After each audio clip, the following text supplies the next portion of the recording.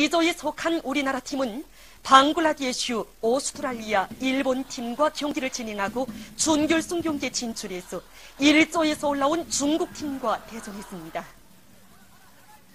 20일 우리나라 팀과 중국 팀과의 준결승 경기가 있었습니다.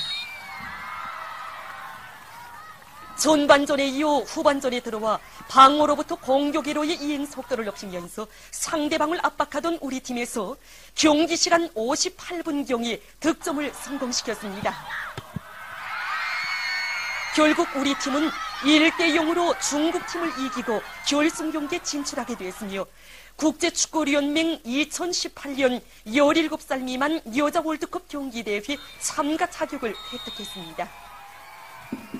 우리나라 팀은 23일 남조선 팀과 결승 경기를 하게 됩니다. 보도를 마칩니다.